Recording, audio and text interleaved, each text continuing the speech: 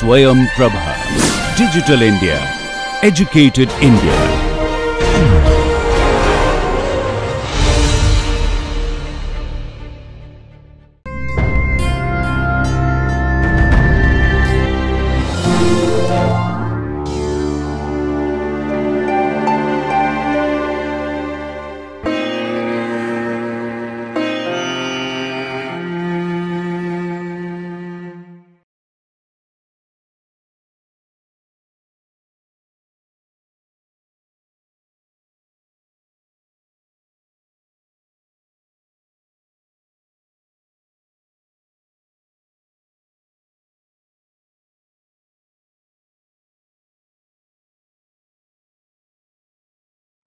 Hello, dear friends. I am Professor Jasim Ahmed from IASE Faculty of Education, Jamia Millia Islamia. Today I am going to start to talk on aspects of development. And in this series of lectures on aspects of development, this is the first lecture on this topic. And the title of this discussion is Introduction to Physical, Social and Intellectual Development. So, uh, the main objectives of today's discussion are that uh, after the discussion is over, you will be in a position to uh, state the meaning of physical development. You will be in a position to tell the meaning of social development. You will be also in a position to define intellectual development in your own words. And you will also list out salient features and characteristics of physical, social, and intellectual development. And finally, you will be able to describe how to enrich and enhance these aspects of development among learners. So friends, before we go into the details of the physical development, social development, and mental development, I think it is very essential to put some light on growth and development, how these two concepts are differentiated from each other. You must be aware that growth is a quantitative change in the body of an organism, in the body of a child whereas development is a qualitative change. So you can say that growth as a quantitative aspect of development, whereas development as a wider term, it is overall change in the body of an organism. For example, the change in the size of finger or growth, or you can say the increase in the size of finger, in the size of arm is a part of growth, whereas the functioning aspect of the arm, functioning aspect of the fingers, the ability to use fingers, the ability to move fingers, the ability to use fingers for certain activity is a, a, a functional part of this finger and that's why it is development. It is not a simple growth. So now you can also uh, observe that growth is directly observable in nature. So you can observe any kind of growth going on in the learner. You can observe the height increasing from, you know, uh, birth, uh, time of birth to different ages. You can observe how the learner is, you know, progressing in their, uh, in, in, their, in their height, in their tallness, and how the weight is increasing and how the fingers are you know going to change how the body parts are changing how you know the appearance of an individual appearance of the learner is changing. These all are you know part of growth which can be observed by any individual which can be observed by the parents which can be observed by the teachers. Whereas development is indirectly observable. You cannot directly observe you know development. You cannot directly observe the ability of the, an individual to write.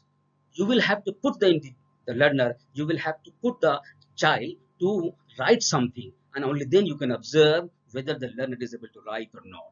So the functional part cannot be observed directly, they, they are observed through indirect you know process. So uh, you can say that uh, uh, as we have you know uh, physical tools of you know measurement, we have uh, we have you know a scale for measuring the length of a uh, of an object we have you know we have a, a beaker to uh, measure the quantity of water or quantity of a chemical in the given beaker. Uh, we have the uh, you know weight and balance to measure the the quantity of an object which can be which, which can be weighted which can be measured using the balance. Uh, so we have different tools of measurement. uh, of the physical quantities. Like we can also measure the temperature of our body using our uh, you know uh, thermometer. So these are the tools and that's the reason that growth can be measured with perfection whereas development cannot be measured with perfection because development is not directly observable. For example intelligence of an individual cannot be observed directly. You will have to take intelligence test and that intelligence test too do not observe with perfection at some point of time the same intelligence test will give you 120 IQ of the same child and at another time the same test by the uh, by the same child uh, will give you 118 or 110 or maybe 130 IQ so these uh, these are the tools like tool to measure attitude tool to measure aptitude the tool to measure interest. These are the personality variables and these are developmental aspects which uh, cannot be measured with perfection. Although we try to measure these things for the educational purposes, but these tools do not give the perfect result. Again, you must be aware that growth is a time-bound process. So when and uh, when the child reaches the puberty stage, the growth process is stops, but the developmental process goes uh, go out throughout the life. So development basically starts from the womb of the mother and it, it goes on until the individual, you know, uh, uh, go to the uh, next, you know, next life you can say, go to the tomb you can say. So cradle to uh, grave, the process of development start from cradle and it goes uh, onto the grave. Similarly, growth may or may not bring development. It should be also taken into consideration. The growth may or may not bring development whereas development uh, uh, development uh, is also possible without full growth. For example, you can take the example of a, if a person who is not uh, having good height, the person is dwarf, but despite being dwarfness, the person may have so many capacities and so many abilities, they can perform in some field better than the normal person.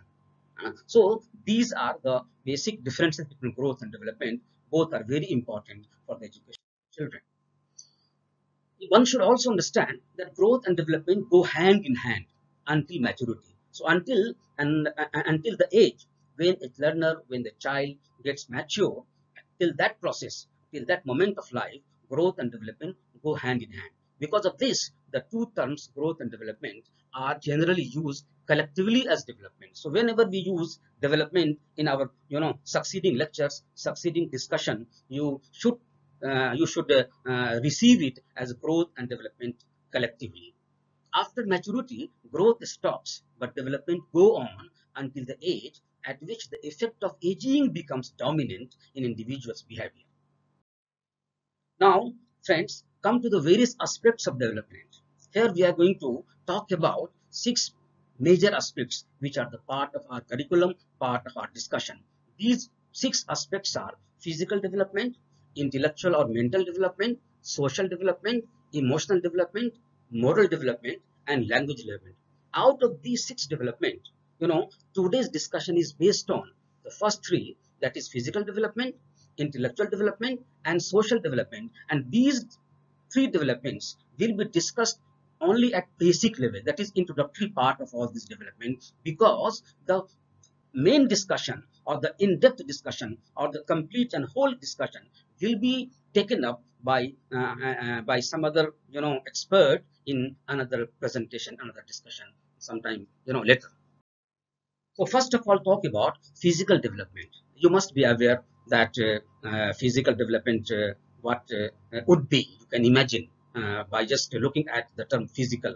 As, as we know that physical objects are those which are having physical existence similarly physical development are those development which are you know which can be observed which are there which are these are the developments which take place in the body of an organism either internal or external but which results into the growth and development of body parts of an individual.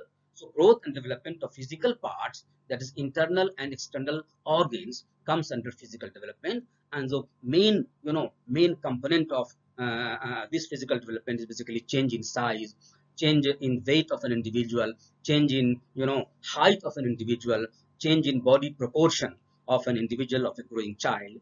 the, the change in physical appearance of a child, all these comes under physical development.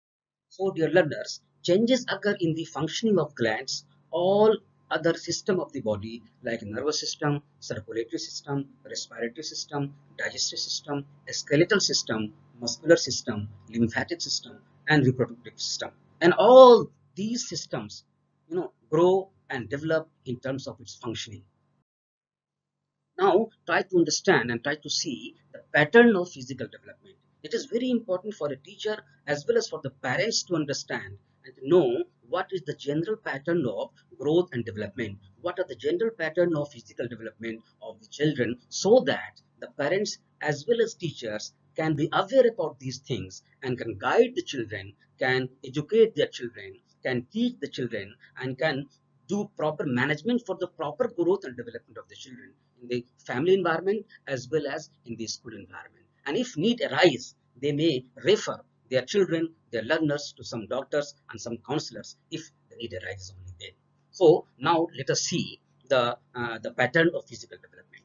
Although you will find that there is a wide individual differences as we know that you know uh, we all are born uh, and we are the product of heredity and environment. Each and every child is unique as we have discussed in the previous presentation. That each child is unique, each learner is unique and each learner, each of us each and every personality you know is a product of heredity and environment. And you must be aware that heredity is different for each all of us for every one of us. And environment also varies from individual to individual from uh, from family to family from society to society from community to community. Even within the family you know the environment differs for one uh, child and for other child. For different siblings for different brothers and sisters. Because of you know pattern of communication and pattern of interaction pattern of friendship that they that they that they you know develop in their life. So uh, let us look at some of the important pattern of physical development.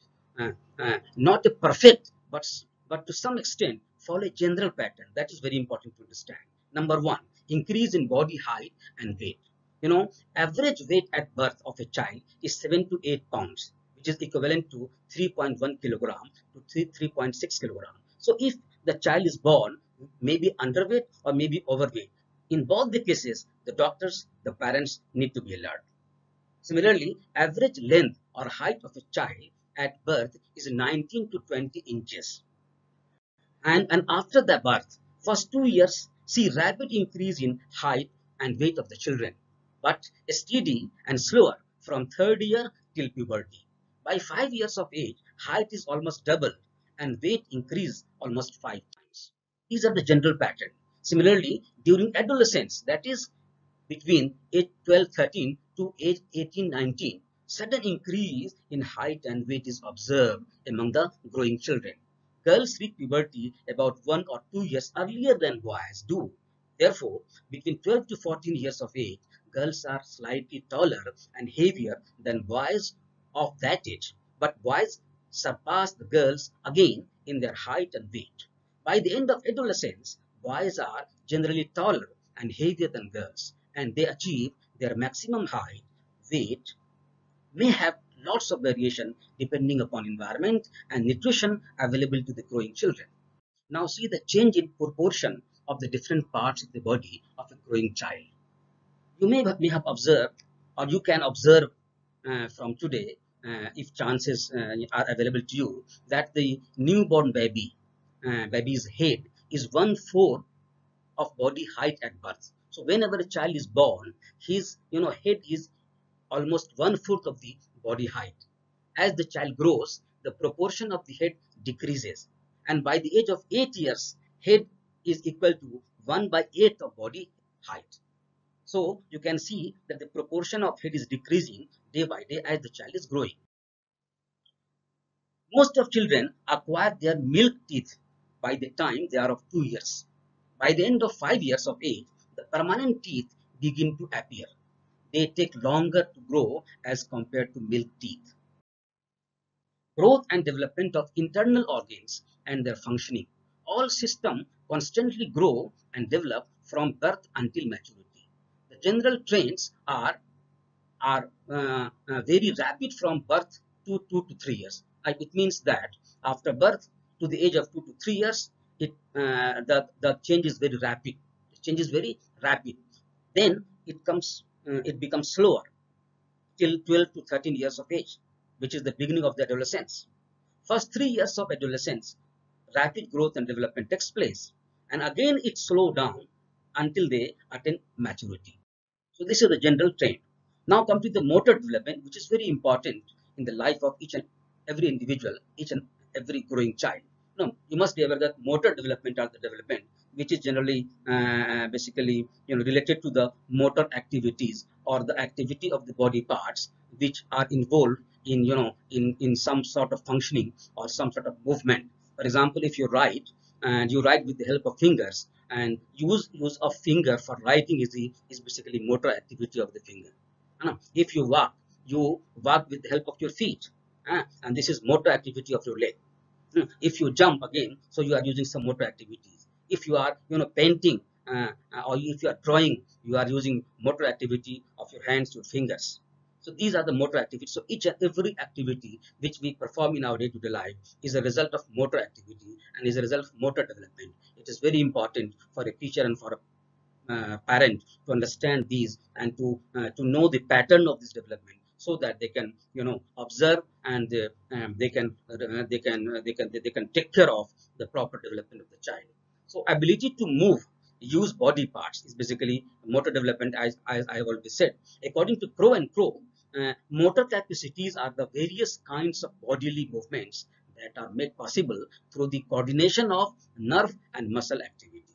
For example walking running jumping swimming grasping any object throwing you know a stone or anything uh, by the children uh, then catching if, if, if, if, the, if the children are playing cricket or you know catching some balls then writing activity by the learners then eye movement. And the children uh, children uh, and we also uh, have some eye movement. We used to see here and there up and down. So we move our eyes in different directions from where the you know voice is coming sound is coming from where any kind of signal is coming. You used to uh, you know move your eyes. This is again motor activity. Again so for holding uh, a pens holding a pen by the you know children or by all of us uh, or any other tool uh, it is also a kind of motor activity. So without these movements no skills can be performed by any child by any individual. So it is very important.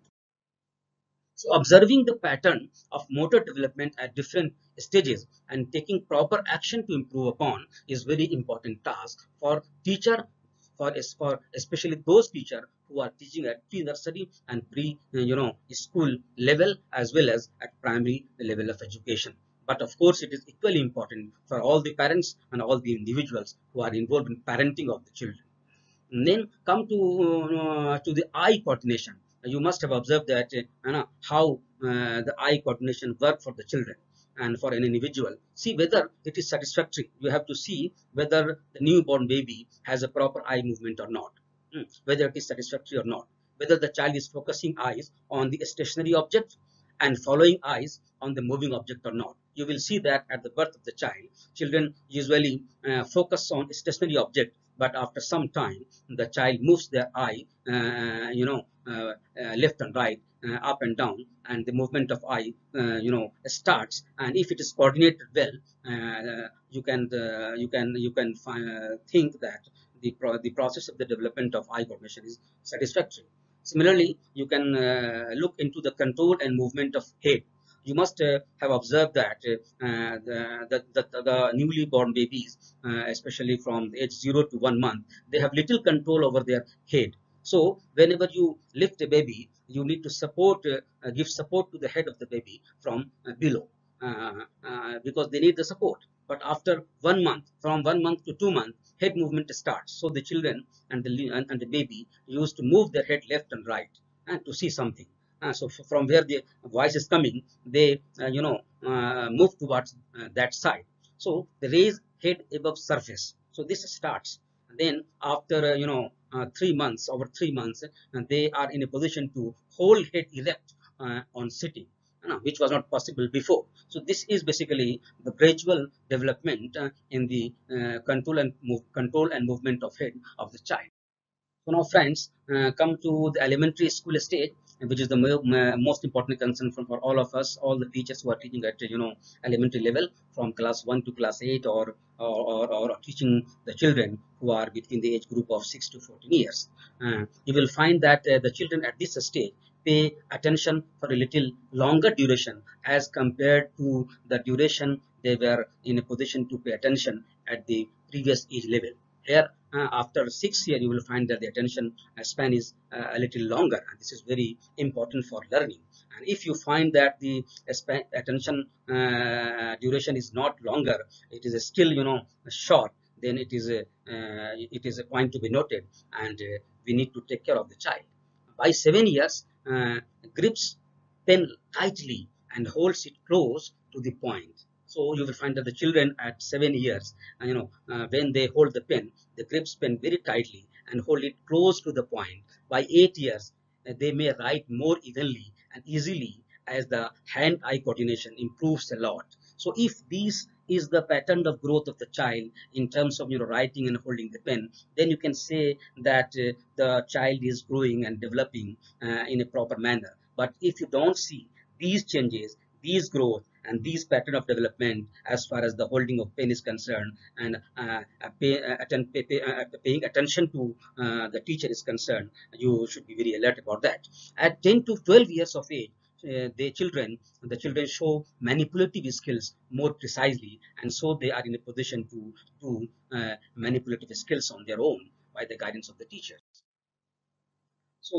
this was all about the uh, physical development. Of course, it was very brief, and I hope the uh, the lecture which will be which will be presented to you specifically on physical development, and they will uh, take more attention to the detail of uh, of the physical development. Here, this uh, uh, presentation, this discussion was basically introductory, and so it was limited to certain extent now come to the social development uh, uh, the another aspect.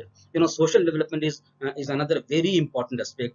Uh, when i say very important uh, i feel you know uh, something sorry in myself because each and every aspect of development are basically equally important because all developments are interrelated interconnected and influence one another. So you can't say that this one is more important and that one is less important so each and every aspect of development are equally important and all uh, must uh, be taken care of by the parents by the teachers. So what is the basics of the social development? What is the idea of social development? And so uh, we are going to discuss about the introductory aspect of the social development. As the name uh, suggests itself, social development means uh, means basically socialization of the child you know this term basically uh, is new for you for the people who are coming to the field of education. But for social scientists this is very important term. So socialization is a process of transformation of a child from you know individual being to social being. So when a child is born in the family and, and it as it grows up you know the child at earliest stage is basically individual being. Means the child think that everything you know belongs to uh, belongs to him or her everything. Even even even the small child the infant you know uh, used to think that the mother the mother belongs to him or her only. And no other siblings no other brother and sister can can can can you know can uh, uh, compete uh, for the same mother. Uh, so uh, the, the, smallest sibling the the infant the smallest child of the family you know who is you know at, at very earliest stage they used to think that father and mother and sister and brother and whatever communities, whatever toys are there in the family, all belongs to him only. And they don't want to, you know, share it with other members of the family. So this is individual being. You will uh, observe and you must have observed that at earlier stage, when the full packet of the chocolate is given to a child, then the child don't want to share it with other with his brothers or sisters, even don't want to share with his father, and even don't want to share with the mother also but a time comes when the child start to share with the mother and after some time the child uh, share it with the uh, father and after again some time the child share it with the uh, uh, uh, siblings, with the brothers and sisters in the family, and but do not share with the other members, other members of the society. But uh, in course of time, as the child grows, as the child, you know, internalize the social system, as the child learns the society and the social values and ethics, the child, you know, grow and develop in social aspects, and a time comes in his life then when the child in is in a position that individual is in a position to sacrifice everything for the society and for the community for the family and no, and they don't matter uh, whether something is you know uh, rest with them or not so this is the transformation of individual from individual being to social being. And this transformation, this conversion of an individual being to social being is known as socialization. And the children, the learner, the students who are more socialized are, are, are basically good human being. Or basically you can say that they are, are they are on proper you know mm, proper social development you know uh, uh way. And and if uh, the children are not transforming in this way and they are not in a position to learn they are not interested to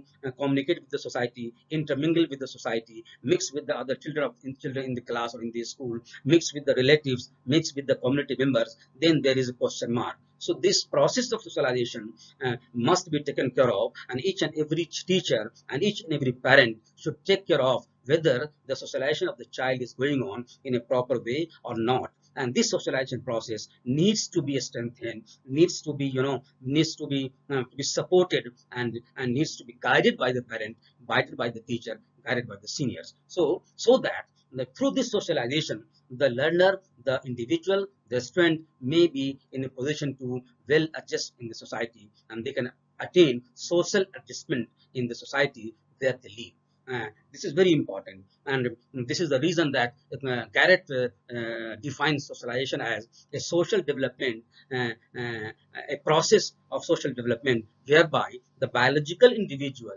is converted into a human person. Means human person means the person who imbibes each and every ethics and social values, social customs, social traditions of the society where they live in. So learning to conform to group standards conducts traditions by mixing with the family, peer groups, society, community, and develop the sense of, you know, oneness, have intercommunication and cooperation. These are the most important aspects of social development. And the social development. Through this social development, through the social interaction, through uh, social learning of the children uh, takes place and, and, and, and the learners, the students, the growing child learn the social values, the values which are enshrined in our constitution, even the values values which are practiced by the family, the values which are practiced by the society, the values which are respected in the society, and the values basically which govern the society and through which the social identity of the society is established and the social identity of uh, uh, uh, is, is imbibed by the growing children. So this is all about you know social development of the learner. And this social development is very important for a teacher because teachers require to create such an environment in the school in the classroom where along with the intellectual development, along with the development of knowledge of the particular subject, along with the you know subject uh, knowledge of different subject like science, mathematics, or history, or political science, or language, along with all these subject knowledge, must strengthen the learners, the children must learn the the social ethics must learn the values, must learn the social systems, must learn the traditions of the society. Only then they can be having a balanced development, uh, balanced personality. Uh, and if there is some lack, if the students are not involving with other children of the class, if students are not interacting with the other children of the class, if students are not interacting with the other members of the society, then this is basically a hamperance. This is basically a barrier uh, in the social development of the learner. So uh, uh, you must have heard the name Vygotsky. Vygotsky have a tremendous job in the field of social development.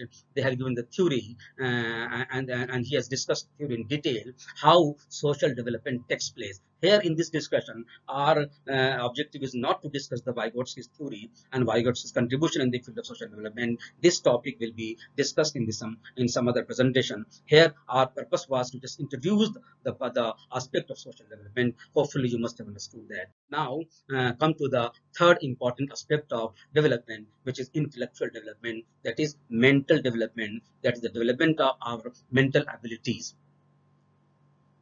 Development of mental abilities that is cognition, intelligence, reasoning ability, logical thinking, uh, thinking uh, in different directions that is you know um, uh, uh horizontal thinking and vertical thinking and then imagination and the finding cause and effect relationship and all other abilities and functions in which mind dominates uh, comes under the domain of intellectual development or mental development. Similarly, you know, we all have some, you know, capacity of memorize something ability to memorize something, ability to solve problems and the problem solving skills, how you tackle the problem, how you handle the problem, how you face the problem, how you look into the problem and whether you, you try to solve the problem or you just, you know, flit away just looking at the problem. So these are the uh, skills which comes under the intellectual development of the children. Then, uh, all these development, that is the mental development or intellectual development depends on so many factors so many factors. And it starts with you know sensation uh, you must have uh, studied, you must have heard about sensation. Sensation is a mechanical process. So whenever you receive some information um, through your sense organ, like your uh, uh, looking at something, your skin with, with, the help of your skin, with the help of your eye, with the help of your tongue, with the help of your nose by you know smelling, and with the help of uh, listening to some some some voices. So these are the you know sense organs, and through which we receive information. And this is basically mechanical part of you know biological process and mechanical process where just you receive information. Now what information is received, and uh, this nervous system, uh, you know the, the, the, the neuron uh, uh, carry this information to the mind and mind try to give meaning to that information, what it is. For example, if your hand is touched with some object, then this is just, just a sensation. But the mind tells what it is. Is it a duster? Is it a pencil? Is it a chalk? Is it a book? Is it my bag? Is it a mobile? So this giving meaning to that sensation is perception and this sensation and perception is very important uh, uh, very important in, in, in, the in the mental development or in the intellectual development of the child uh, so as a teacher we are supposed to you know sensitize children to what sensation and uh, and uh, and uh, train them in you know perception percep perceptive skills so that they can perceive in a right direction in a proper direction then with the help of this sensation and perception uh, uh, concept of uh, any object is developed in the mind of the learner so the concept formation is third very important aspect of intellectual development or mental development so uh, we learn a lots of concept in all subjects be it social science, be it language, be it science, physics, chemistry, biology, mathematics, any subject of the world, any subject of study in the world, basically full of concepts are there. And all these concepts are learned by the learners and taught by the teachers. But the teaching of concept with, with proper, you know, strategy is very important and that uh, is not possible without understanding sensation and perception if you uh, give the learner an opportunity to sense something, then you will be in a position to develop concept uh, in, in the right manner and, and with an easy process. For example, if you want to uh, if, if, if, you want to teach about the length and breadth, uh, the concept of length of a table. So give the learner an opportunity to measure the length. So table is there, desk is there, and give them the chance to observe and, and use the scale for measurement this will help them to develop the concept of measurement and concept of length of measuring anything. So this is concept formation. So in the concept formation process, sensation is important, perception is important, and during the process of you know concept formation, the child discriminate uh, among different ideas and different things different uh, you know meaning that, that, that are coming to their mind. And ultimately they uh, generalize the concept whatever being taught to them and whatever they're trying to learn. And finally they reach to the acquisition of that concept so there is a detailed discussion and detailed deliberation and detailed method of teaching concept. And basically there is a, uh, a models of teaching and which talks about the uh, teaching of concept how uh, concept should be taught to the children. Here also in this syllabus of child development learning in the last unit we have a topic titled as models of teaching where we are supposed to discuss the concept attainment model of Bruner there we will discuss the models of Bruner regarding concept attainment. Here uh, we are not going to go into the detail of concept formation. Now, understanding uh, and other higher cognitive skills like analyzing, synthesizing, or creating uh, and evaluating uh, involving learner's mind, intellect, all these comes, are, comes under intellectual development of the child and mental development of the learner. Uh, and they, uh, similarly, designing teaching learning tasks mm, by the pupil teachers like you people who are BEd students, you are supposed to design teaching learning tasks when you will go for a school internship program in some school during teaching practice. We, the teachers, and all the school teachers are required to design the teaching learning process. And this designing, uh, while we design teaching learning process, while we design curriculum, we need to take care of the age of the child, the stage of the child, the basically the intellectual developmental stage of the, the, child. And looking, looking into that stage, we can design the activities for learning. We can design the curriculum in a proper way so that the students can understand all those things in a in a in a swift manner or in an easy manner. Uh, you must have heard about Jean Piaget. Jean Piaget has uh, given the theory of intellectual development, uh, uh mental development, uh, and uh, he has very tremendous work on this in this area. the work is basically a very you know unique type of work. It is a longitudinal study which was done on his own child. Uh, this is not the point of discussion in today's discussion. This will be again discussed where the topic on mental development will be covered in some other presentation. Now, uh, uh, a very important thing is that uh, we must understand what are the factors affecting mental developmental growth and mental development. Uh, as we have uh, discussed earlier, heredity and environment are two most important factors uh, which affect all growth and development. maturation and learning are responsible for controlling the process of mental growth and development. Maturation helps in achieving the physical growth of the, of the neurons and the nervous system, which in turn affect the process of mental growth and development of the learners. And and this is the reason that we must take care of you know uh, take care of giving the right kind of environment to the learners and the right kind of nutrition support to the learner, learners so that the uh, the nervous system the neurons and the entire process of you know biological system must have uh, must be having good you know nutritional value so that they can grow and develop in a proper manner uh, brain and nervous system play key role in the direction of mental development. Uh, uh, uh, now, the question is how to, how to enhance or improve the mental development of the children. How to enhance or how to improve, how to you know increase the mental ability or the intellectual development of the learner. According to Sorensen, a child's legs, arms, and body are made stronger by healthful play uh, he mean to say that if you provide right kind of activity, right kind of play, right kind of you know uh, uh, field activity, uh, students will be having uh, opportunity to uh, strengthen their leg, their arms, their body, and and such other parts.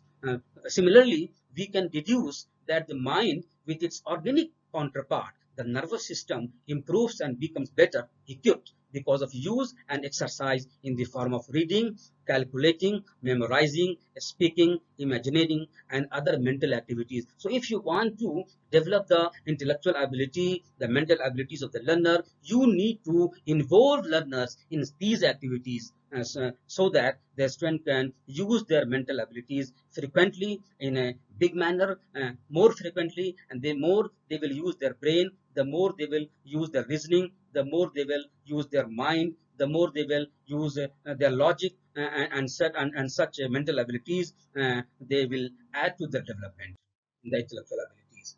Now, the last uh, uh, important point of today's presentation is educational implication. What are the educational implications of all these growth and development or the understanding of all these growth and development for a teacher is very important because unless you know these the the general you know uh, general process unless you know the uh, the general you know uh, uh, uh principles of development unless you know the the the process of development and uh, how it goes on how you will in a position to support your learner to grow in a better way. So understanding helps arranging for proper learning exercises to the children at the very appropriate time. What is expected from the children at different ages help teacher to assess their growth and development and provide proper learning environment experiences and refer to medical treatment or counseling if required. So if you know all these things, uh, if you know that at uh, say six years of age and at eight years of age, at nine years of age, at 12 years of age, what would be the level of the growth and development of the learner and what are the problem being faced by the learner, only then you can provide a better opportunity and then you can, you know, provide some some uh, you know uh, avenues only then you can provide some you know ways to handle those problems and to uh, put the child on the right track and if, you, if this is not in the control of the uh, of the teacher then you can refer to the some medical practitioners so teacher can himself or herself take many preventive and curative measures to bring the developmental process on track for each and every learner you are teaching in the classroom or the school premises. Teacher may be better prepared to provide needed care, security, and preventive safeguard for their adequate adjustment, well-being, and progress of each and every child. It, it helps uh, uh, these understanding that is understanding of the growth and development and the pattern of the physical and social and mental development help the teacher curriculum planner and trainers to plan age appropriate content learning experiences assessment studies and other related activities so that the entire process of teaching and learning the entire process of education of the learners can uh, go on in a right manner. Friends uh, uh, now uh, we are reaching at the last stage of our discussion and presentation. So today we have discussed about the growth and development. And we found that growth and development are of course two different terms growth is you know quantitative in nature whereas development is a qualitative you know change in the body of an organism. But uh, in wider terms they are used interchangeably and we have also discussed the aspects of development like uh, physical development uh, and social development uh, intellectual development. The other three development uh, that is emotional development language development uh, will be discussed uh, in some other presentation. And of course the introductory part of these that is emotional development language development and moral development will be taken uh, in, uh, in next presentation by me itself. But uh, the theory behind all this development will be discussed by some other SS expert in the area in the uh, coming series of lecture. And we have also discussed about uh, the education implication for teachers for all these three uh, you know aspects of development. And we can say that if we as a teacher understand the pattern of all these growth and development only then we can we can act as a better teacher uh, we can be equipped for you know guiding the students guiding the learners on the right path and uh, we can add to the proper development and the growth and proper education of the children who are under our you know uh, under our guidance under our uh, teaching learning process in the classroom or on the school premises. With this i thank you all and wish to see you in the next discussion. Thank you so much